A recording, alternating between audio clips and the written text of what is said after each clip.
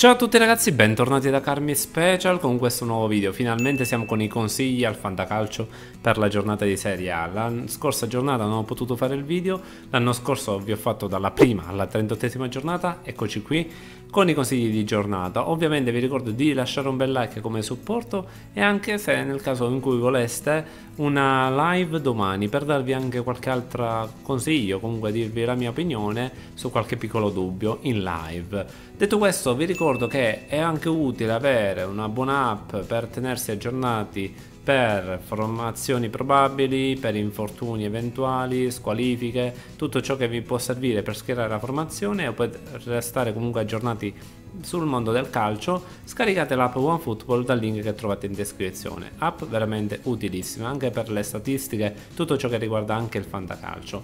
Detto questo ragazzi, Partiamo con i consigli, una giornata diciamo fiammeggiante perché si parte subito con Juventus Lazio, una partita ovviamente un big match.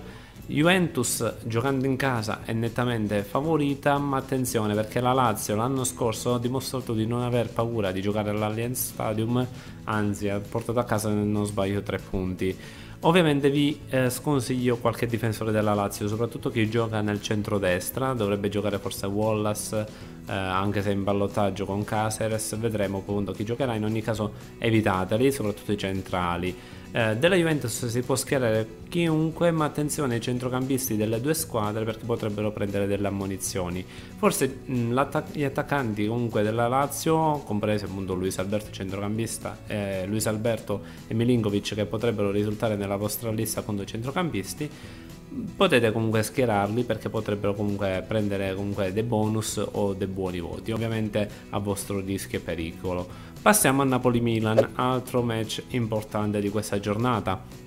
Ovviamente sulla carta, soprattutto giocandosi al San Paolo, è favorito il Napoli. In porta dovrebbe giocare anche stavolta Carnezis, non è sicuro, è in ballottaggio eh, per quanto riguarda i vari reparti del Napoli potete schierarli un po' tutti, però dovete fare attenzione anche un po' ai ballottaggi, sia quello di Zelinski che quello di Milik, però potrebbe essere confermata super giù la formazione della scorsa giornata. Il Milan invece fa il vero e proprio esordio perché ha riposato la scorsa giornata, quindi occhi puntati soprattutto su Higuain, che tra l'altro è un ex, quindi attenzione a lui, a Suso e Bonaventura, potrebbero essere quelli più schierabili del Milan, insieme a Romagnoli, è l'unico forse della difesa che mi sento di consigliarvi. Attenzione invece al centrocampo del Milan, sinceramente li terrei un po' fuori.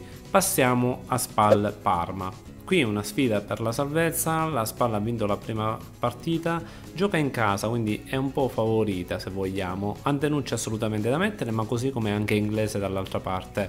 Se vi devo dire dei nomi un po' scommessa potrebbero essere Petagna ragazzi che se gioca titolare chissà magari si segna un gol a sorpresa e Di Gaudio dall'altra parte, occhio anche a Grassi che potrebbe fare anche lui una buona partita. Passiamo a Cagliari Sassuolo. Questo match è interessante perché vede il Cagliari che è stato uno dei flop della prima giornata, quindi ha fatto non proprio una grandissima prestazione contro l'Empoli, quindi mi aspetto una reazione da parte soprattutto di Castro e Pavoletti, eh, che sono secondo me giocatori da poter schierare. Poi gli altri, magari soprattutto la difesa, forse è meglio dare qualche altra giornata di, eh, di, pausa o di riposo prima di schierarli. Mentre del Sassuolo, che ha fatto una grandissima prestazione contro l'Inter, sono schierabili ovviamente il reparto offensivo, quindi i vari Berardi di Francesco eh, soprattutto in leghe numerose si possono schierare. Boateng come centrocampista ve l'ho detto ragazzi una delle migliori scommesse da fare perché gioca attaccante almeno per il momento quindi schieratelo ovviamente. Duncan ha fatto una buona prestazione ma schierabile solo in una, diciamo, in una lega numerosa forse dei terzini potreste schierare appunto Lirola e Rogerio invece da evitare forse i centrali che potrebbero magari combattere un po' troppo con Pavoletti quindi prendere anche qualche cartellino.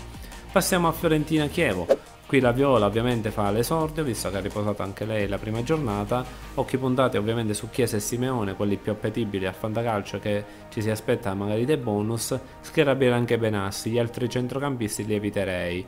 Eh, attenzione ovviamente a qualche ballottaggio sia per quanto riguarda il centrocampo che magari per la difesa. Del Chievo, attenzione ragazzi perché la scorsa giornata si sono difesi abbastanza bene contro la Juve però non è detto che ci riescano anche questa volta contro la Fiorentina, quindi eh, forse Giaccherini ancora da schierare, Stepinski e dovrebbe partire anche questa volta titolare però non so se lo schiererei neanche in una lega numerosa.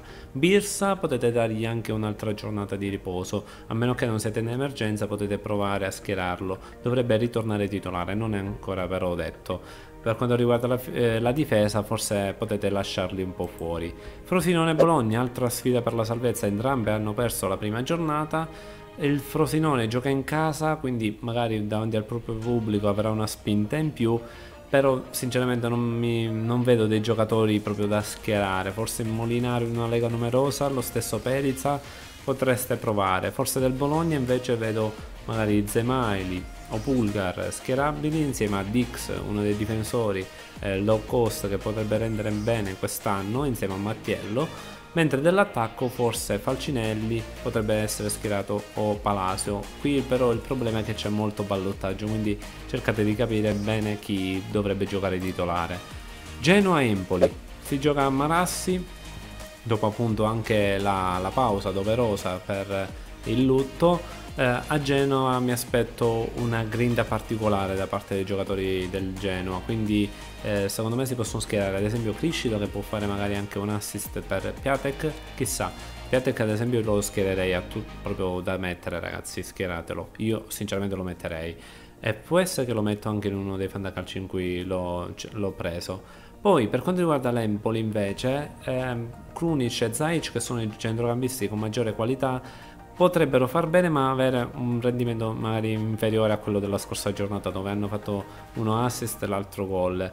Dell'attacco invece chissà magari questa volta si sblocca Antonino Lagumina. Può essere ragazzi vedremo. Della difesa Silvestre eh, area di derby perché ho giocato nella Sampdoria però si può schierare in una lega numerosa soprattutto di Lorenzo ma forse può prendersi una sufficienza. Comunque considerate che in genere le difese a Marassi non conviene spesso schierarle perché finiscono spesso partite in over. Vedremo come finirà questa. Passiamo a Inter Torino.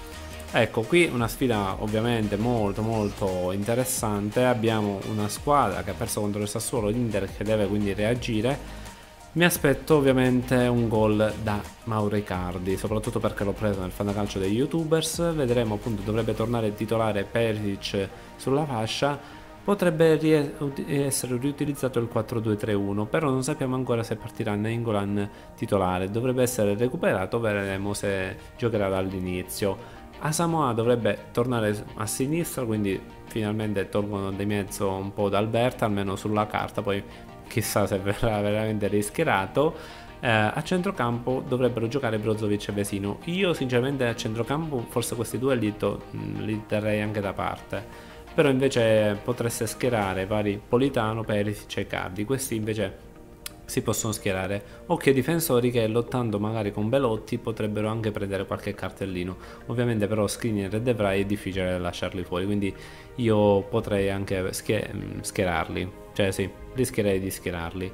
Eh, per quanto riguarda il Torino, ovviamente Belotti eh, avendolo preso non si può lasciare fuori. Stesso discorso come per Iago Falca, che è comunque un giocatore talentuoso che può sempre portare dei buoni voti a casa. Uh, Ansaldi è un ex, attenzione perché chissà se, se azzecco ragazzi il gol o comunque assist di Ansaldi veramente è finita. Uh, il resto dei giocatori forse li lascerei fuori perché potrebbero prendere delle ammonizioni. Udinese Sampdoria eh, qua in questa partita c'è qualcosa che mi, mi, interessa, ovvero il rendimento di Lasagna che la scorsa giornata ha fatto un po' schifo e di Barak, anche se Barak è un po' in ballottaggio perché potrebbe essere utilizzato ad esempio Posset e Makis come esterni uh, in un 4-2-3-1, vedremo, vedremo, sinceramente con Baracca è un assetto un po' più equilibrato, io comunque lo schiererei, schiererei un po' il reparto offensivo dell'Udinese invece lasciando fuori quello difensivo. Stesso discorso però per la Samp, eh, visto che alcuni giocatori sono anche nuovi come Colley che potrebbe fare bene una buona prestazione però è un po' una lotteria, un po' un rischio, mentre il reparto offensivo con Quagliarella, Ramirez e attenzione a Yankto che è un ex, questi giocatori si possono schierare. Passiamo all'ultima partita, Roma-Atalanta, si gioca di lunedì visto che l'Atalanta appunto ha l'Europa League e proprio l'Europa League potrebbe farsi sentire nelle gambe dell'Atalanta, quindi potrebbero anche essere un po' più affaticati e perdere qualche, un po' di lucidità durante la partita. Mm, quelli più schierabili dell'Atalanta magari sono Pasalic, il Papu Gomez che sembra comunque in forma in questo inizio di campionato. Attenzione invece ai difensori, forse li potreste tenere da parte. Per quanto riguarda la Roma, eh, invece schierabile secondo me anche la difesa, il centrocampo forse De Rossi e gli altri, forse Strottman potrebbe giocare, questi li potreste lasciare fuori, Pastore invece mi aspetto possa fare una prestazione migliore della scorsa.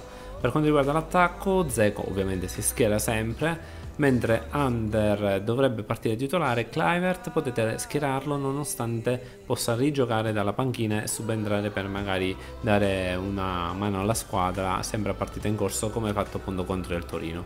Questa è la mia opinione, questi sono i miei consigli, se avete pic qualche piccolo dubbio scrivetemelo qua sotto nei commenti, piccolo dubbio mi raccomando ragazzi perché siete tantissimi, quindi più corto il commento più a più persone posso rispondere, se vedo eh, già dei commenti lunghi e probabile che non vi potrò rispondere ragazzi per dare diciamo un po' uh, la possibilità a tutti di avere una piccola risposta.